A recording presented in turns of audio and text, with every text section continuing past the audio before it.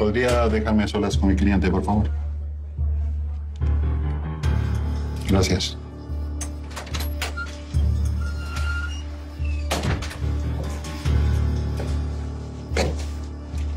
¿Por qué no me dijiste que las balas eran de salva? Porque no lo sabía. Según yo eran reales. Bien. Puede sernos muy útil.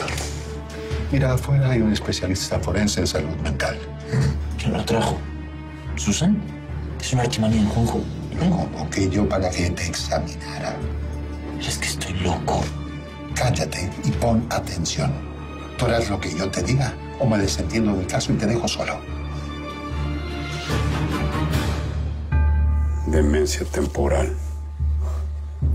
Eso es lo que concluyó el psiquiatra forense que examinó a Roberto. Él ha estado bajo mucha, mucho estrés y la crisis matrimonial le ha provocado una, un- una angustia desesperante, lo cual lo llevó a tomar ansiolíticos durante varios meses. Válgame Dios. Finalmente no sabemos a ciencia cierta cuál fue la razón que desató el episodio. Podría, podría ser efectos secundarios de los ansiolíticos o bien la suma de varios factores.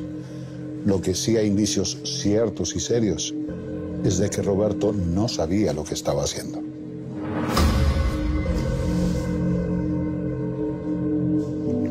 Ya se terminó esta locura. Roberto está en la cárcel, Aurora está bien. Solamente Serena trae un dolor de cabeza por la impresión. Pero qué peligroso, ¿no? ¿Y tú? A ver. Pues, ay, nada más un golpecito y una tabla rota. Pero, pero ya, solamente queda el susto. Oye, la familia de Aurora lo sabe. Sí, eh, eh, Serena se lo dijo a Paloma.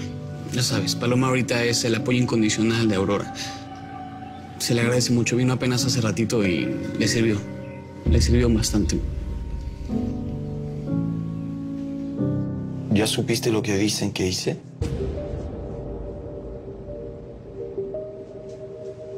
Lo que dicen o lo que hiciste.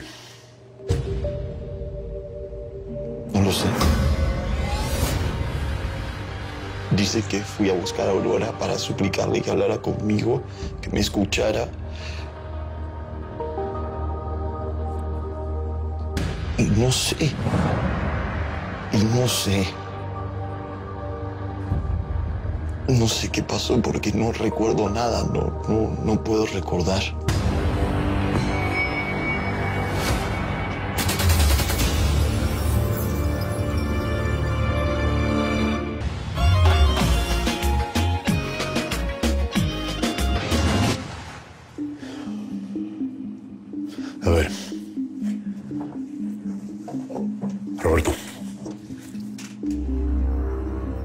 ¿Cómo está eso que no te acuerdas de nada?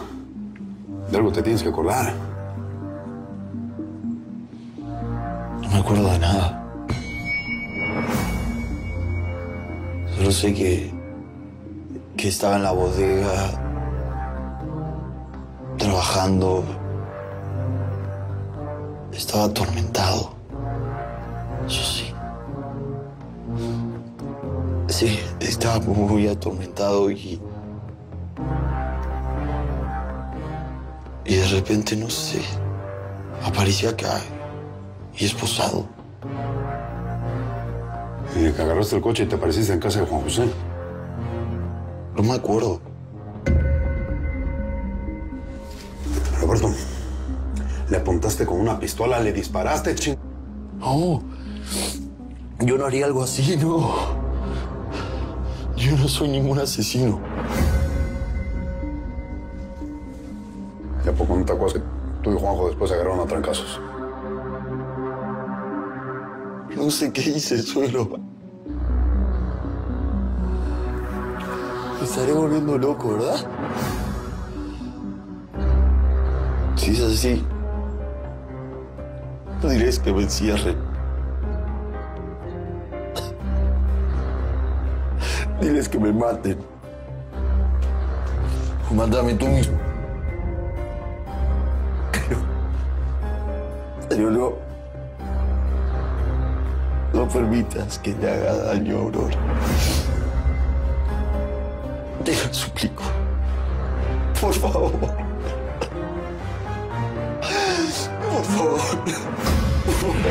Por favor. ¿Y qué haces aquí? Quise venir personalmente a advertirte. Em, ¿Me permiten? No, no, no, ellos se pueden quedar y por supuesto que pueden escuchar. Está bien, sentémonos. Así como tú quieras. Gracias.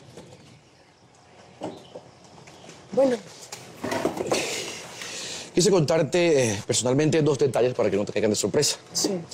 Y el primero es, es que la denuncia que tenemos contra Roberto por intento de asesinato a Juan va a valer de poco. ¿Por qué? Porque todas las balas que dispararon eran de salva. Te salva. ¿Cómo que te salva? Así como lo oyen. Por eso, milagrosamente, nadie resultó herido.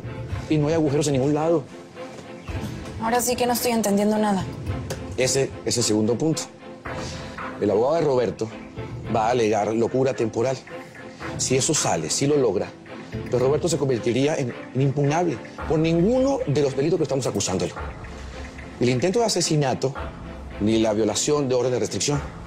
Ese tipo no está nada loco. Por supuesto que no. Es que Roberto se va a volver a salir con la suya, como siempre. Sí, parece que va a salir bien librado de esto. Su abogado es muy hábil, ¿sí? Y él va a pelear porque le salga la locura temporal. Pero tranquila, todo va a estar bien, ¿sí? No podemos dar esta batalla por ganada. Hay que prepararnos bien. Todavía tenemos una semana para prepararnos. Tranquilos.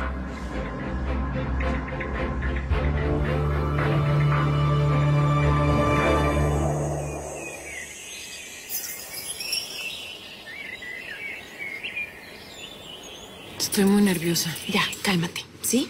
Todo va a estar bien, ¿sí? Mi amor. ¿Y tú con corbata? Sí, yo le pedí que se la pusiera. Es para darle mayor credibilidad como testigo y presunta víctima del ataque de Roberto.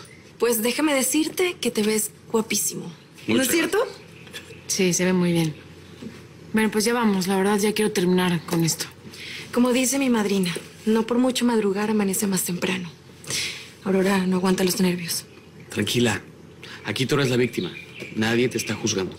Aurora tiene razón. Es mejor llegar temprano, sí, así que mejor vámonos. ¿sí? Vamos.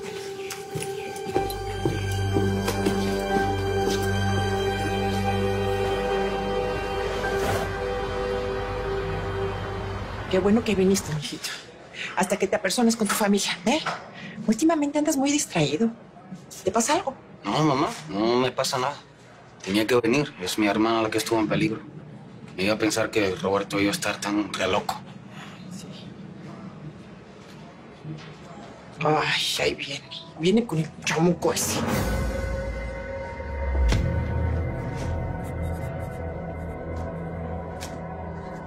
Qué gusto verte. Yuri, perdona, es que ando como loco con esto del final de año y los exámenes. Lo importante es que estés aquí.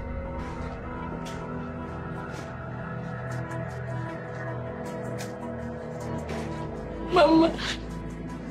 Venga.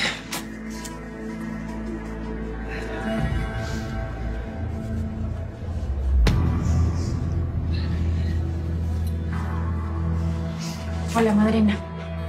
¿Cómo estás, mija? ¿Y Emilito? ¿Con quién lo dejaste? Dolores tenía el día libre y nos hizo el quite con el chamaco.